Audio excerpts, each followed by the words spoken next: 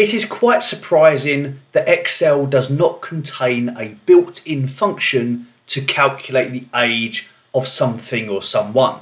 But in this quick tutorial, we will show you how. Now I have some date of births in column C for some individuals and we want to calculate the age in column D. In cell D3, we can use a function called yearFrac. That will prompt us for the start date, which is the date of birth, the end date, where we can use the today function for today's date, and then the basis, where we will specify the actual days per month. This function alone will return the number of years and also the proportion through that year so far. Wrapping the trunc function around that will remove the decimal part and leave us with the age, which we can then fill down.